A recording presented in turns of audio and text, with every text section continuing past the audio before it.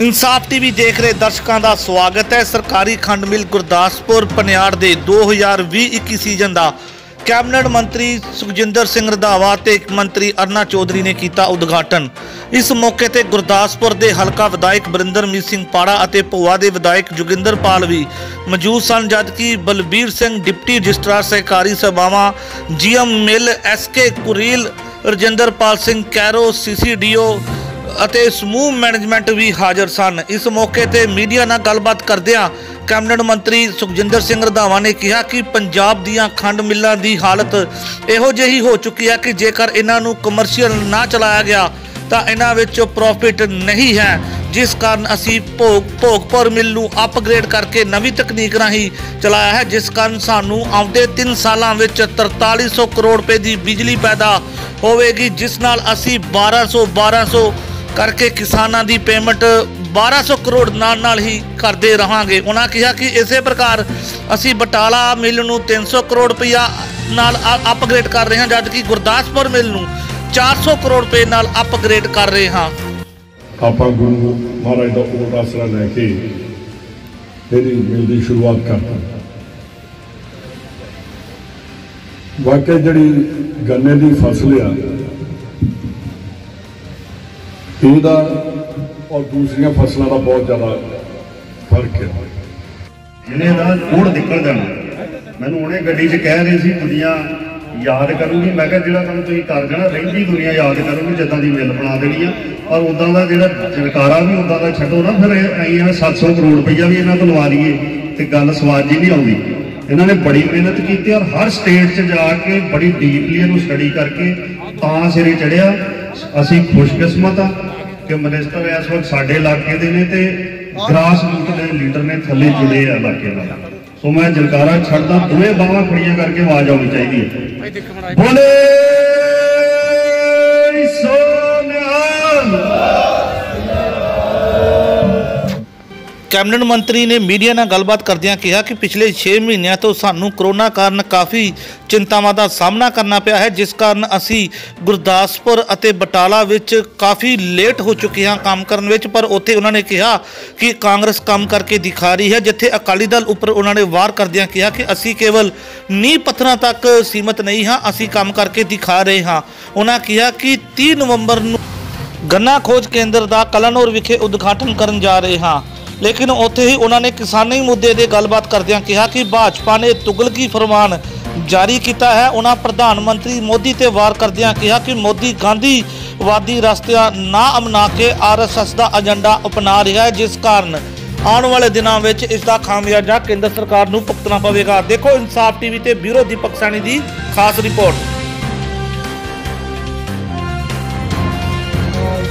Sugar ਮਿਲਾਂ ਦੇ ਵਿੱਚ ਸਰਕਾਰੀ ਜਿਹੜੀਆਂ ਸ਼ੂਗਰ ਮਿਲਾਂ, ਉਹਨਾਂ 'ਚ ਕੀ ਇੰਪਰੂਵਮੈਂਟ ਕੀਤੀ ਜਾ ਰਹੀ ਹੈ? ਚਲੋ, ਇਹ ਮੈਂ ਨਹੀਂ ਸੀ ਕਿ ਕੱਲ ਵੀ ਨਿੱਜੀ ਮਿਲਣ ਨਾਲ ਕੰਪੀਟੀਸ਼ਨ ਨਹੀਂ ਕਰ ਕਿ ਅੱਜ ਜਿਹੜੀਆਂ ਮਿੱਲਾਂ ਦੀ ਪੋਜੀਸ਼ਨ ਹੈ, ਜੇ ਇਹਨਾਂ ਨੂੰ ਕਮਰਸ਼ੀਅਲ ਕਮਰਸ਼ੀਅਲੀ ਨਾ ਚਲਾਵਾਂਗੇ ਤੇ ਇਹਨਾਂ 'ਚ ਪ੍ਰੋਫਿਟ ਹੈ ਨਹੀਂ। ਇਸੇ ਕਰਕੇ ਜਿਹੜੀ ਭੋਗਪੁਰ ਵਾਲੀ ਔਰ ਉਹ ਤੇ ਸਾਡੀ ਬਿੱਲ ਜਿਹੜੀ ਤਿਆਰ ਹੋ ਕੇ ਚੱਲ ਪਈ ਉਹਦੇ 'ਚ ਕੋ ਜਨਰੇਸ਼ਨ ਕਰਾਂਗੇ, ਤਿੰਨਾਂ ਸਾਲਾਂ 'ਚ 43 ਕਰੋੜ ਦੀ ਬਿਜਲੀ ਪੈਦਾ ਕਰੇਗੀ। ਕੋਈ ਸਿੱਧੇ ਕਿਸਾਨਾਂ ਦੇ ਜਿਹੜੀ ਪੇਮੈਂਟ ਉਹ ਅਸੀਂ ਬੜੀ ਸੌਖੇ ਤਰੀਕੇ ਦੇ ਨਾਲ, ਇਹ ਹਰ ਸਾਲ ਜਿੰਨੀ ਜਿੰਨੀ 12 12 ਕਰੋੜ ਜਿਹੜੀ ਸਾਨੂੰ ਆਏਗੀ, ਤੇ ਇਹਨਾਂ ਕੀ ਸਾਡਾ ਡਿਫਰੈਂਸ ਰਹਿੰਦਾ ਦਾ ਪ੍ਰਾਈਸ ਆ। ਉਹਦੇ ਚੋਂ ਅਸੀਂ ਉਹਦੇ ਚੋਂ ਕੱਢ ਲੈਣੀ ਇਸੇ ਤਰ੍ਹਾਂ ਹੀ ਜਿਵੇਂ ਬਟਾਲਾ ਦੀ ਆ, ਉਹਨੂੰ ਅਸੀਂ ਫਾਰਮਾਸਿਊਟੀਕਲ ਮਿਲ ਬਣਾਉਣਾ। ਇਹ ਜਿਹੜੀ ਆ, ਇਹ ਸਿੱਧੀ ਐਥਨੋਲ ਤੋਂ ਇਹ 700 ਕਰੋੜ ਦਾ ਪ੍ਰੋਜੈਕਟ ਆ। ਉਹਦੇ 'ਚ ਸਾਡੇ ਜਿਹੜਾ ਲੋਨ ਲੈਣਾ ਸੀ, ਉਹ ਅਸੀਂ ਐਸਟੀਐਫ ਐਨਸੀਡੀਸੀ ਤੇ ਬਾਕੀ ਬੈਂਕਾਂ ਕੋਲੋਂ ਅਸੀਂ ਕੋਆਪਰੇਟਿਵ ਬੈਂਕ ਦੇ ਜਿਹੜੇ ਬੈਂਕ ਸਾਡੇ ਨਾਲ ਹੁਣ ਇੰਟਰਸਟ ਤੇ ਕਰਾਂਗੇ ਇੱਥੋਂ ਤੱਕ ਕਿ ਅਸੀਂ ਨਬਾਰਡ ਦੇ ਨਾਲ ਵੀ ਇਹ ਕੇਸ ਟੇਕ ਅਪ ਕੀਤਾ ਕਿ ਸਾਨੂੰ ਕੋਆਪਰੇਟਿਵ ਸੈਕਟਰ ਆ, ਇਹਦੇ 'ਚ ਨਬਾਰਡ ਜਿਹੜੀ ਡਾਇਰੈਕਟ ਲੋਨਿੰਗ ਕਰਨੀ। ਜਿਹੜੀ ਚੀਜ਼ ਮੈਂ ਇਸ ਕਰਕੇ ਇਹਨੂੰ ਥੋੜਾ ਟਾਈਮ ਲੱਗਾ ਕਿਉਂਕਿ ਇੱਕ ਤੇ ਕਰੋਨਾ ਕਰਕੇ ਕੋਵਿਡ ਕਰਕੇ 7-8 ਮਹੀਨੇ ਬਿਲਕੁਲ ਕੋਈ ਕੰਮ ਨਹੀਂ ਚੱਲਿਆ। ਬੰਬੇ ਤੋਂ ਕੰਸਲਟੈਂਟ ਜਿਹੜੇ ਹੋਣੇ ਸੀ ਮਹਾਰਾਸ਼ਟਰ 'ਚ ਉਹ 6 ਮਹੀਨੇ ਤੱਕ ਫਲਾਈਟਾਂ ਹੀ ਬੰਦ ਰਹੀਆਂ, ਸੜਕਾਂ ਬੰਦ ਰਹੀਆਂ। ਉਹਨਾਂ ਨੂੰ ਜਦੋਂ ਬਾਅਦ ਚ ਕਿਹਾ ਤੇ ਉਹ ਬਾਈ ਰੋਡ ਸਾਡੇ ਕੋਲ ਪਹੁੰਚੇ ਔਰ ਉਹਨਾਂ ਨੇ ਡੀਪੀਆਰ ਜਿਹੜੀ ਤਿਆਰ ਕਰਕੇ ਸਾਨੂੰ ਸਬਮਿਟ ਕਰ ਦਿੱਤੀ ਆ ਔਰ ਜਿਹੜਾ ਲੋਨ ਲੈਣਾ ਸੀ ਉਹ ਵੀ ਸਾਡਾ ਤਿਆਰ ਹੋ ਗਿਆ। ਹੁਣ ਸਾਡਾ ਟੈਂਡਰ ਜਿਹੜੀ ਆ, ਇਹ ਡਾਕੂਮੈਂਟ ਸਾਡੇ ਤਿਆਰ ਹੋ ਗਏ ਨੇ। ਉਹ ਅਸੀਂ ਟ- ਜਿਹੜੀ ਪੰਜਾਬ ਗਵਰਨਮੈਂਟ ਕੋਲ ਜਿਹੜੀ ਕਲੀਅਰੈਂਸ ਲੈਣੀ ਸੀ ਉਹ ਸਾਰਾ ਕੁਝ ਲੈ ਕੇ ਤਾਂ ਕਿ ਇਹ ਨਾ ਹੋਵੇ ਕਿ ਜਿਸ ਦਿਨ ਮੈਂ ਭੋਗਪੁਰ ਗਿਆ ਸੀ ਤੇ ਜਦੋਂ ਮੈਂ ਪਿਛਲੀ ਵਾਰੀ ਗਿਆ, ਜਦੋਂ ਦੇਖਣ ਗਿਆ ਤਾਂ ਉਦੋਂ ਕਹਿੰਦੇ ਜੀ ਆ ਬਾਦਲ ਸਾਹਿਬ ਤਿੰਨ ਵਾਰੀ ਨੀਂਹ ਪੱਥਰ ਰੱਖੇ ਨਾਲ ਉਹਨਾਂ ਮੈਨੂੰ ਬਾ- ਨੀਂਹ ਪੱਥਰ ਵੀ ਦਿਖਾਏ। ਤੇ ਮੈਂ ਕਿਹਾ ਮੈਂ ਨੀਂਹ ਪੱਥਰ ਰੱਖਣ ਨਹੀਂ ਅੱਜ ਆਇਆ। ਨੀਂਹ ਪੱਥਰ ਉਸ ਦਿਨ ਰੱਖੂੰਗਾ ਜਿਸ ਦਿਨ ਇਹ ਮਿਲ ਚੱਲੇਗੀ। ਔਰ ਭੋਗਪੁਰ ਦੀ ਜਿਸ ਦਿਨ ਮੈਂ ਮਿਲ ਦਾ ਉਦਘਾਟਨ ਕਰਨ ਗਿਆ ਚਲਾਈ ਆ ਮੈਂ ਉਸ ਦਿਨ ਨੀਂਹ ਪੱਥਰ ਰੱਖਿਆ। ਇੱਥੇ ਵੀ ਉਸ ਦਿਨ ਨੀਂਹ ਪੱਥਰ ਰੱਖਿਆ ਜਾਣਾ ਬਟਾਲੇ ਵਾਲਾ ਜਿਸ ਦਿਨ ਸਾਰੀਆਂ ਫਾਰਮੈਲਿਟੀਆਂ ਟੈਂਡਰ ਤੇ ਨਾਲ ਹੀ ਬੈਂਕ ਜਿਹੜੀ ਲੋਨ ਆ ਉਹਨਾਂ ਦਾ ਸਾਰਾ ਕੁਝ ਕਰਕੇ ਕਿਉਂਕਿ ਜਿਹੜੀ ਮਿਲ ਜਦੋਂ ਲੇਟ ਹੁੰਦੀ ਆ ਉਦੋਂ ਫਾਈਨਾਂਸ ਕਰਕੇ ਲੇਟ ਹੁੰਦੀ ਹੈ ਤੇ ਜਿਹੜੇ ਠੇਕੇਦਾਰਾਂ ਨੂੰ ਜੇ ਪੈਸੇ ਟਾਈਮ ਦੇ ਨਾਲ ਮਿਲੀ ਜਾਣ ਤੇ ਉਹ ਕਦੀ ਵੀ ਕੰਮ ਜਿਹੜਾ ਵਾ ਉਹ ਆਪਣੇ ਟਾਈਮ ਤੋਂ 2-4 ਮਹੀਨੇ ਪਹਿਲਾਂ ਹੀ ਖਤਮ ਕਰ ਦੇਣ ਸਰ ਇਹ ਤਿੰਨਾਂ ਮਿਲਣ ਜਾ ਰਹੇ ਕੈਪਟਨ ਸਾਹਿਬ ਦਾ ਲੰਚ ਹੋ ਰਿਹਾ ਜੀ ਕਿਆ ਨਵੀਂ ਖੁਸ਼ਖਬਰੀ ਮਿਲੇਗੀ ਕਿਹਦੇ 'ਚ?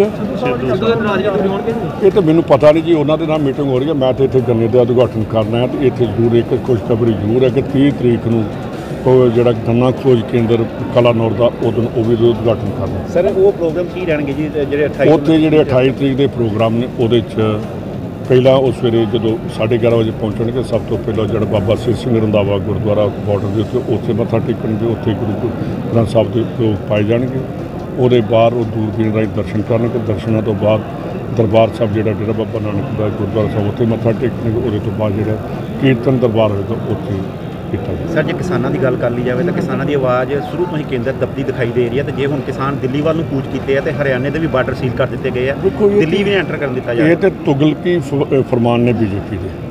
ਹਰ ਜਦੋਂ ਇਹਨਾਂ ਦੇ ਵੀ ਆਪੋਜੀਸ਼ਨ ਦੇ ਵਿੱਚ ਸੀਗੇ ਉਸ ਵੇਲੇ ਅਡਵਾਨੀ ਸਾਹਿਬ ਨੇ ਰੱਥ ਯਾਤਰਾ ਕੱਢੀ ਸੀ ਔਰ ਕਿਸੇ ਸਟੇਟ ਤੋਂ ਉਹਨਾਂ ਦੀ ਰੱਥ ਯਾਤਰਾ ਰੋਕੀ ਨਹੀਂ ਸੀ ਗਈ ਭਾਵੇਂ ਉਹ ਉਹ ਇੱਕ ਧਾਰਮ ਧਾਰਮਿਕ ਵੀ ਨਹੀਂ ਸੀ ਉਹ ਇੱਕ ਕਮਨਲ ਜਿਹੜੀ ਰੱਥ ਯਾਤਰਾ ਮੈਂ ਉਹਨੂੰ ਕਹੂੰਗਾ ਇਹਦੇ 'ਚ ਬਵਾਲ ਵੀ ਉੱਠੇਗਾ ਕਿ ਕਮਨਲ ਕਿਹਾ ਗਿਆ ਕਿ ਉਸ ਵੇਲੇ ਉਹ ਜਿਹੜੀ ਰੱਥ ਯਾਤਰਾ ਸੀ ਬੀਜੇਪੀ ਦੀ, ਉਹ ਵੀ ਕਾਂਗਰਸ ਨੇ ਆਪਣੀਆਂ ਸਟੇਟਾਂ 'ਚ ਨਹੀਂ ਸੀ ਰੋਕੀ। ਤੇ ਇਸ ਕਰਕੇ ਜੇ ਕਿਸਾਨ ਆਪਣਾ ਪੀਸਫੁਲ ਮਾਰਚ ਕਰ ਲਈ ਜਾ ਰਹੇ ਨੇ ਔਰ ਜਿੰਨਾ ਕਿਸਾਨਾਂ ਦਾ ਪੀਸਫੁਲ ਮਾਰਚ ਰਿਹਾ, ਇਹਦੇ ਤੋਂ ਮੇਰੇ ਖਿਆਲ ਵੱਧ ਗਾਂਧੀਵਾਦੀ ਨਹੀਂ ਹੋ ਸਕਦੀ। ਤੇ ਮੋਦੀ ਸਾਹਿਬ ਆਪ ਗੁਜਰਾਤ ਦੇ ਨੇ, ਗਾ- ਗਾਂਧੀ ਜੀ ਉੱਥੋਂ ਦੇ ਸੀ ਤੇ ਉਹ ਗਾਂਧੀਵਾਦ ਦੇ ਸਿਧਾਂਤ ਨੂੰ ਛੱਡ ਕੇ ਤੇ ਜਾਂ ਆਰਐਸਐਸ ਦਾ ਕੋਈ ਏਜੰਡਾ ਲੈਣਾ ਚਾਹੁੰਦੇ ਆ, ਤਾਂ ਮੇਰੇ ਖਿਆਲ ਵੱਧ ਕਿਸਮਤੀ ਹੈ ਦੇਸ਼ ਦੀ ਸਰ ਇਹ ਜਿਹੜਾ ਤੁਸੀਂ ਦੱਸਿਆ ਤਿੰਨੇ ਮਿਲਾਂ ਦੇ ਉੱਤੇ ਅਪਰੋਕਸੀਮੇਟਲੀ ਕਿੰਨੇ ਦਾ ਕਰੋੜ ਦਾ ਹੈਗੇ ਸਾਰਾ? ਇਹ ਇਹ 750 ਕਰੋੜ ਤੇ 700 ਕਰੋੜ ਦੀ ਹੈ ਜਿਹੜੀ ਗੁਰਦਾਸਪੁਰ ਵਾਲੀ ਆ ਉਹਦੇ ਚ 350 ਤੋਂ 400 ਕਰੋੜ ਉਹਦੇ ਤੇ ਲੱਗੇਗਾ ਜਿਹੜਾ ਫਾਜ਼ਿਲਕਾ ਦੀ ਸੀਗੀ। ਉਹਦੇ ਤੇ ਜਿਹੜਾ ਪ੍ਰੋਜੈਕਟ ਬਣਿਆ ਸੀ ਉਹ ਕੋਈ 250 ਕਰੋੜ ਦਾ ਸੀ। ਬਾਅਦ ਚ ਅਸੀਂ ਸਾਡੀ ਗਵਰਨਮੈਂਟ ਆਈ ਅਸੀਂ ਜੋ ਵੀ ਉੱਥੇ ਅਹ, ਫਰੀਦਕੋਟ ਵਾਲੀ ਮਿਲ ਦਾ ਸਾਰਾ ਸਮਾਨ ਚੁੱਕ ਕੇ ਇਹਦੇ ਚ ਕਰਕੇ ਤੇ ਉਹਦੇ ਤੋਂ ਅਸੀਂ 109 ਕਰੋੜ ਚ ਉਹ ਮਿਲ ਤਿਆਰ ਕਰ ਦਿੱਤੇ। ਇਥੋਂ ਤੱਕ ਕਿ ਜਿਹੜੀ ਉੱਥੇ ਇੱਟਾਂ ਵੀ ਸੀਗੀਆਂ, ਉਹ ਵੀ ਅਸੀਂ ਚੁੱਕ ਕੇ ਲਿਆ ਕੇ ਤੇ ਉੱਥੇ ਜਿਹੜੇ ਗੋਡਾਊਨ ਬਣਨੇ ਨੇ, ਉਹ ਵੀ ਅਸੀਂ ਉੱਥੋਂ ਲੈ ਥੈਂਕ ਯੂ ਸਰ